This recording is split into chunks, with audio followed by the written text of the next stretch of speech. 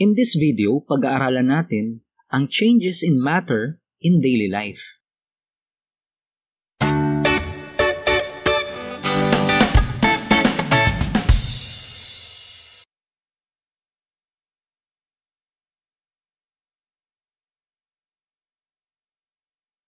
Daily life. Sa Filipino, ito ay nangangulugang pang-araw-araw na buhay. Ano nga ba ang ilan sa mga ginagawa natin sa pang-araw-araw na buhay? Eat, work, play, have fun, live, and do other things. Ilan lang ito sa mga gawain natin. At sa mga gawain natin sa pang-araw-araw na buhay, alamin natin ano ang mga bagay na nagpapakita ng changes in matter. Simulan natin. Preparing and cooking food. Sa Filipino, ito ay paghahanda at pagluto ng pagkain. Simulan natin sa preparing. Paghahanda ng pagkain. Kapag naghahanda tayo ng uh, lulutuin, kadalasan may ilang sangkap na binabalatan. Piling, pagbalat. Halimbawa, sibuyas. Kaya naman bawang, patatas, o kaya upo. Mga binabalatan. Chopping and slicing. Paghiwa. Halimbawa, patatas. Pagkabalat, hihiwain. Kamatis. Sibuyas. Ang mga ito ay nagpapakita ng physical change. Sunod. Cooking food pagluto ng pagkain. Boiling o pagpapakulo. Sauteing, yung paggisa. Halimbawa, nagigisa ka ng sibuyas, bawang, kamatis. Paggisa. Frying, pagprito. Baking. Halimbawa, nagbe-bake ng uh, bread, ng tinapay kaya naman ng cake. Ang lahat ng ito ay nagpapakita ng chemical change. Next, storing and preserving food. Ito ay pag-imbak at pagpapanatili ng pagkain. Simulan natin sa storing.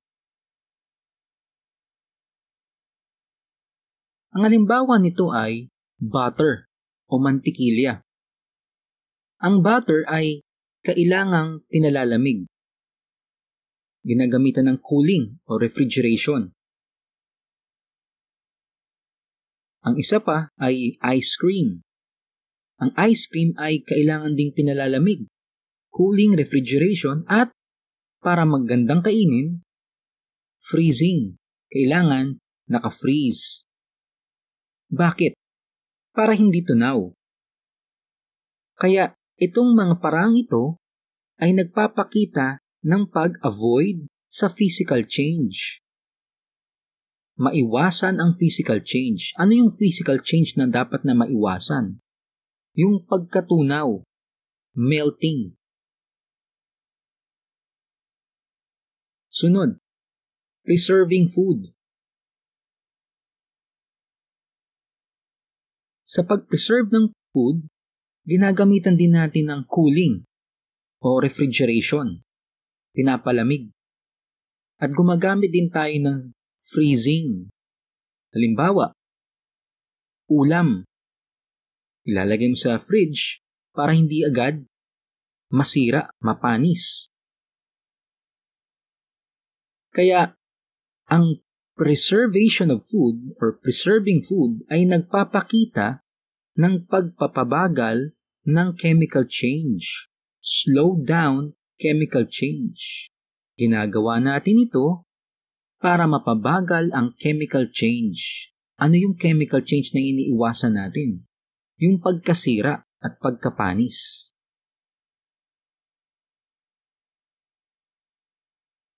Next, keeping good grooming.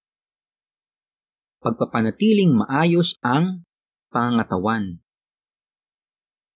Halimbawa, brushing teeth.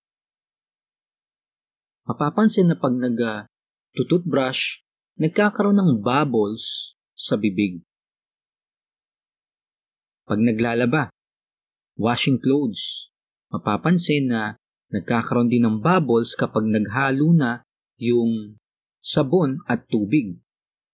Ang mga ito ay nagpapakita ng chemical change. Nagkakaroon ng chemical reaction ang sabon o kaya naman yung toothpaste sa liquid. Maaring ito ay sa tubig, pagsabon sa tubig, at yung toothpaste sa tubig o kaya naman sa laway, saliva. Dahil dito, nagiging malinis yung ngipin kapag nagtututbrush o kaya naman kapag naglalaba, nagiging malinis yung damit. Ang pagsipilyo at paglaba ay nagpapakita din ng physical change. Bakit? Kasi pagkatapos mag-toothbrush, nagiging malinis na yung ngipin. Hindi nagbabago yung ngipin kung hindi nagiging malinis. Ganon din naman doon sa mga damit. Marumi yung damit, kapag nilaban, nagiging malinis. May physical change. Hindi nagbabago yung damit pero yung itsuro ng damit nagiging malinis. Kaya physical change. Next, natural phenomenon. Ang natural phenomenon ay mga likas na pangyayari. Natural na nangyayari sa kalikasan, sa kapaligiran. Isang halimbawa nito ay water cycle. Ano ba ang water cycle? Water cycle is continuous movement of water from the surface of the earth to the atmosphere and back to the surface of the earth. Patuloy na pagkilos ng tubig mula sa ibabaw ng mundo patungo sa hangin o himpapawid at pabalik sa ibabaw ng mundo. Paano ito nangyayari? Ang tubig sa karagatan, sa dagat, sa ilog, sa lawa, at uh, iba pang anyong tubig ay naiinitan dahil sa init ng araw. Habang patuloy na umiinit ito, ito ay nagiging singaw o steam. Ang tawag natin doon ay water vapor. Ang water vapor ay unti-unting umangat sa hangin o sa himpapawid sa proseso na tinatawag na evaporation nagkakaroon ng conversion from liquid to gas. At kapag nasa himpapawid na ang water vapor, unti-unti itong lumalamig at nagiging clouds. Sa paglamig nito, ito ay unti-unting nagiging liquid. So nagkakaroon ng pagbabago from gas to liquid. At nagsasama-sama ito at nagiging ulap. Ang tawag dito ay condensation. Kapag dumami na yung condensation, ito ngayon ay nagiging maitim na ulap. At kapag sobra na at hindi na kaya sa himpapawid, ito ay nagiging ulan. Ang proseso ng pagbagsak ng liquid mula sa himpapawid sa clouds ay tinatawag nating precipitation. May mga pagkakataon naman na sa mga ibang bahagi ng mundo, katulad ng mga nasa North Hemisphere, na malalamig ang klima. Kaya naman yung water vapor ay dumadaan sa proseso ng deposition at nagiging snow. Ibig sabihin, from gas to solid. Ang tawag din dito ay precipitation, yung pagbagsak ng snow. Kaya ang water cycle ay nagpapakita ng physical change of water. Next, growth and decay. Sa Filipino, ito ay pagtubo o paglaki at pagkabulok. Ito ay isang natural phenomenon. Halimbawa, mga halaman o puno. Tumutubo ang mga halaman at lumalago at lumalaki ang mga puno dahil sa chemical change. Mga mineral na nakukuha nila sa tubig at sa hangin ay nagagamit nila upang lumago at lumaki.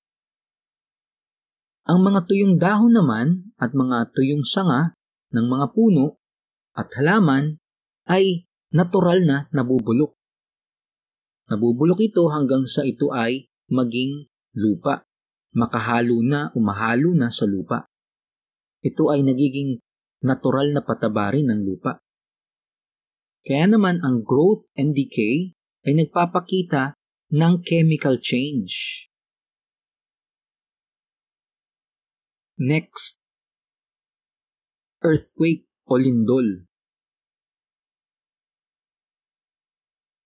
Tingnan ng picture. Makikita dito yung epekto ng lindol o earthquake. Dahil sa pagyanig, nasira yung kalsada. At sa isang picture, dahil din sa earthquake, gumuho yung lupa. Kaya ang lindol ay nagpapakita ng physical change sa mga bagay na naapektuhan nito. Ilan lamang ito sa pang-araw-araw na buhay o daily life na nagpapakita ng changes in matter. Sa tingin ninyo, anong kahalagahan ng changes in matter sa kalikasan?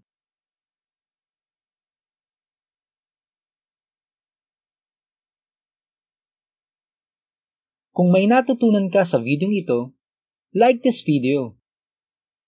Don't forget to hit subscribe and hit the notification bell para notified kayo sa mga susunod na videos.